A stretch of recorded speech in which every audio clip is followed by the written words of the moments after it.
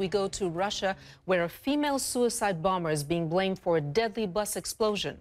This video appears to show the moment the bus blew up in the Russian city of Volgograd. Let's bring in our Phil Black from Moscow for the latest on this story. Phil, what have you learned?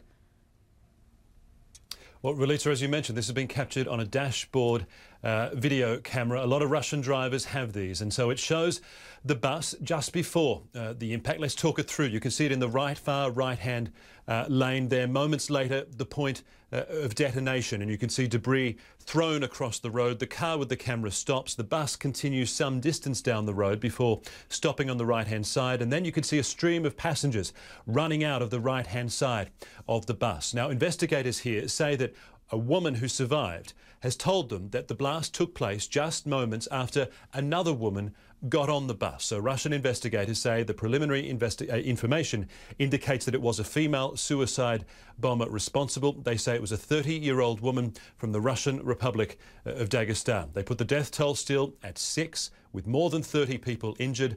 Of those, eight critically related. And with the Sochi Olympics just around the corner, how big of a concern is terrorism for Russian authorities?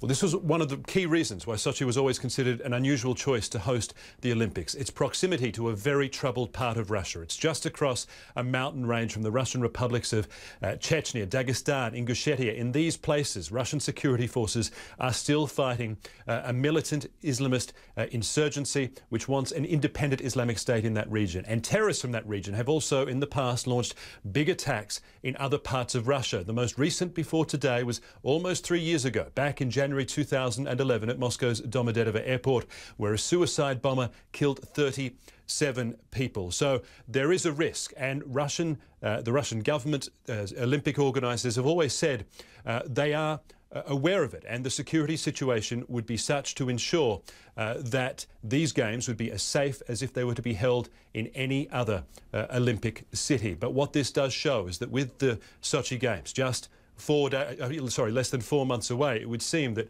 militants from that region are again launching attacks uh, at Russian civilians. Relitza. Phil Black in Moscow, thank you very much.